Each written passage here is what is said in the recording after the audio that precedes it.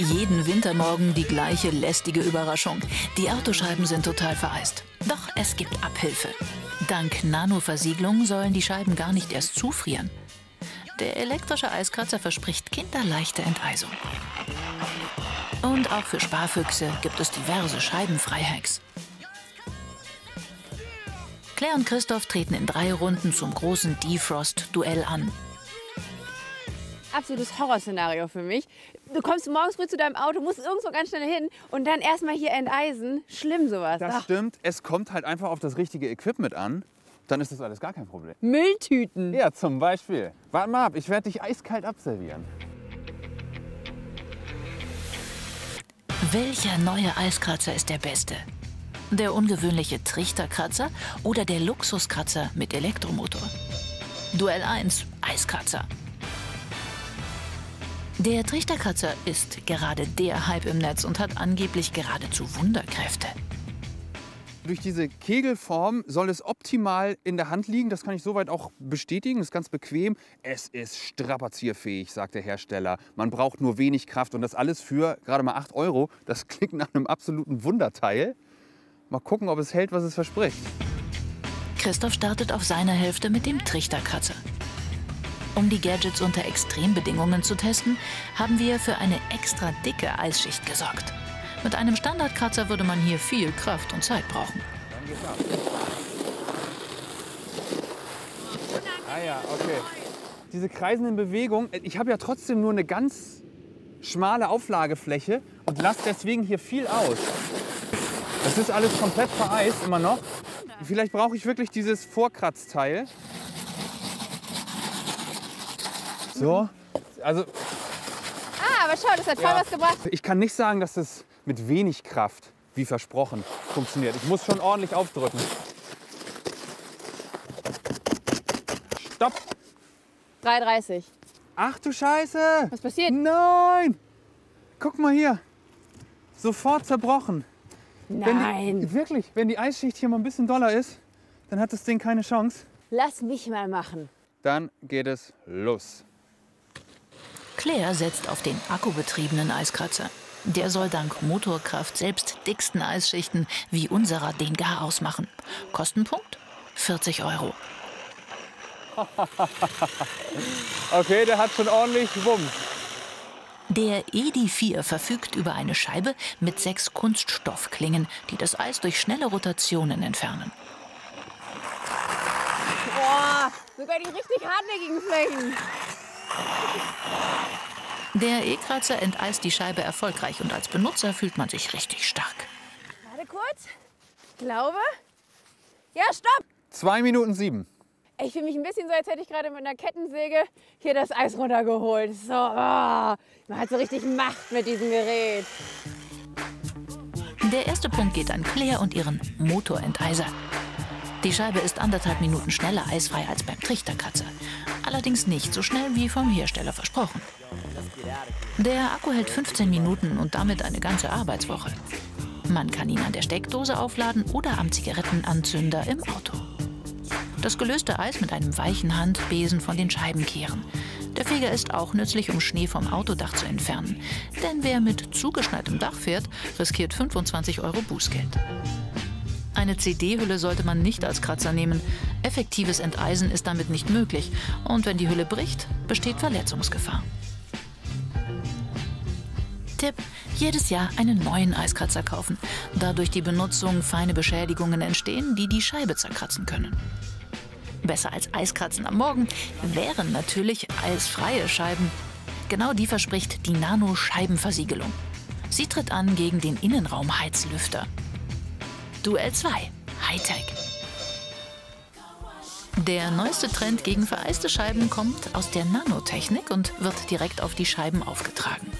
Aber vorher muss Claire sie gründlich reinigen und trocknen. So, alles sauber. Und jetzt kommt mein kleines Wundermittel hier zum Einsatz. Das ist Anti-Rain Nanoflüssigkeit. Und damit versiegele ich jetzt meine Scheibe. Die Nanoteilchen sollen Wasser von der Windschutzscheibe abperlen lassen, sodass die Scheibe im Winter nicht mehr vereist.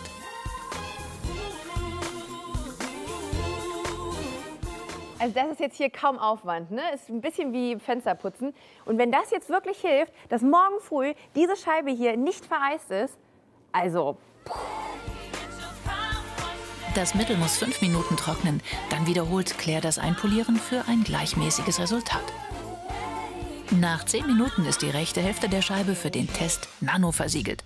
Aber wie soll das funktionieren? Jede Windschutzscheibe hat winzige Unebenheiten, die für das menschliche Auge kaum sichtbar sind. Durch das Auftragen der Nanoversiegelung werden diese mit kleinsten Teilchen aus Wachs, Fluor und Silizium gefüllt. Es entsteht eine hauchdünne glatte Schicht über der Scheibe. 500 mal dünner als ein menschliches Haar. Die ist extrem glatt, sodass weder Schmutz noch Wasser an ihr haften bleiben. Wenn es regnet, entstehen aus dem Wasserfilm schnell kleinste Tröpfchen, die einfach von der Scheibe abperlen sollen. Deshalb vereisen auch nanoversiegelte Scheiben nicht mehr. Theoretisch. Ob das wirklich stimmt, sieht Claire morgen früh.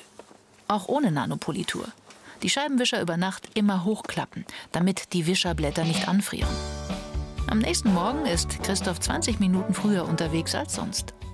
Ich mache es mir jetzt mal ganz einfach mit der Enteisung. Ich habe hier so einen Heizlüfter, der in 20 Minuten meine Scheibe freimachen soll. Kostet 19 Euro. Wenn das wirklich klappt, ist das super. Kannst du zwischendurch sogar noch einen Kaffee trinken gehen.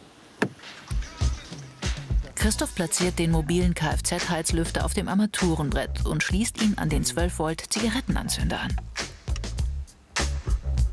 Und hier geht's auch wirklich schon los. Sehr punktuell, nur auf diesem kleinen äh, Punkt, aber hier fängt es an zu schmilzen. Ja, ich meine, ideal wäre es ja, wenn ich den wirklich einfach an einer Position hinstellen kann und am Ende ist die ganze Scheibe frei. Jetzt ist Geduld gefragt. Claire hatte gestern Abend die rechte Hälfte ihrer Windschutzscheibe mit Nanoversiegelung bearbeitet. Auf den ersten Blick sieht man nichts, aber wichtig ist natürlich, was unter der dünnen Schneeschicht steckt. Claire kratzt zunächst auf der unbehandelten Seite. Also hier ist auf jeden Fall auch unten drunter noch eine Eisschicht. Okay, so fühlt sich also an ohne Versiegelung. Jetzt versuche ich es mal auf der anderen Seite. Ah, okay, also tatsächlich so die, gerade so die unterste Eisschicht, die lässt sich einfacher abtragen. Man muss hier gar keinen Druck, gar keine Kraft aufwenden.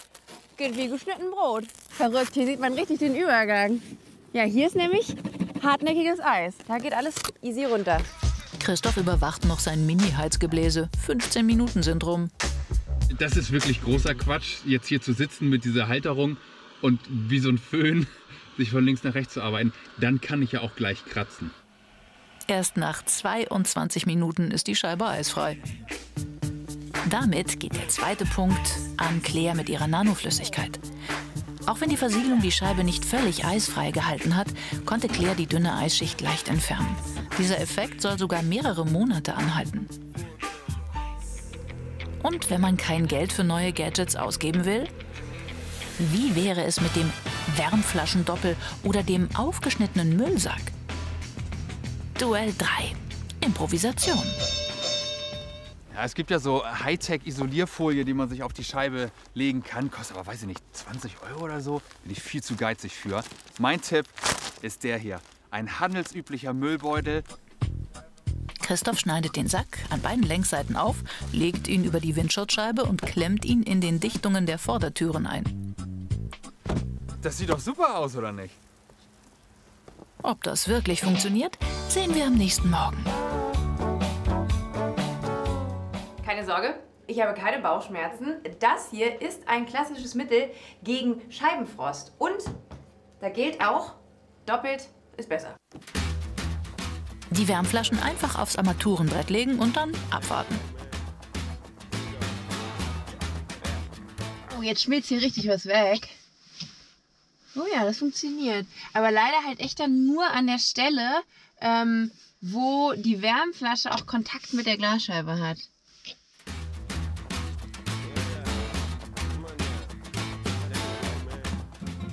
Christoph hat richtig gute Laune. Ob seine Müllbeutelkonstruktion funktioniert hat? Alter, ja. Tatsache. Hier ist nichts gefroren. Also hier oben, da wo die, wo die Kanten sind. Okay, da muss man noch mal so ein bisschen nacharbeiten. Aber hey, Die große ganze Fläche ist komplett eisfrei. Ich kann ihn jetzt trocknen lassen und nächste Nacht wiederverwenden. Abdeckungen aus Papier oder Pappe sind übrigens nicht zu empfehlen, weil sie schnell durchnässen und auf der Scheibe festfrieren. Am Morgen wartet dann die doppelte Arbeit. Wer den Motor warm laufen lässt, um die Scheiben eisfrei zu machen, belästigt Nachbarn und Umwelt. Dabei wird im Leerlauf kaum die nötige Wärme frei, um die Scheiben zuverlässig zu enteisen. Und wer dabei erwischt wird, zahlt 80 Euro Bußgeld. Zurück zu Claire und ihrem Wärmflasche-Doppel. Wie läuft die Enteisung auf Großmutters Art? Also wenn ich hier irgendwas erlange, dann auf jeden Fall Armkraft. Unten ist es noch relativ einfach, aber oben, oh. Endlich kriegt auch Christoph einen Ehrenpunkt. Sein Müllbeuteltrick ist eine preiswerte und praktische Alternative. Und weil der Hack mit dem großen Sack so gut funktioniert hat, zieht er gleich noch einen kleinen Beutel aus der Tasche. Ganz wichtig, man darf kein kochendes Wasser nehmen, nur warm, weil ansonsten die Scheibe springen kann. Ah, ja, das Guck mal, und jetzt machst du einfach so und lässt das hier so runtergleiten. Uh, mega gut. Oder? Auf jeden Fall schneller als die Wärmflaschen. Ob motorisierte Eiskratzer, Nanoscheibenversiegelung oder Müllbeutelabdeckung. Mit diesen drei Methoden wird Ihre Windschutzscheibe ganz einfach eisfrei.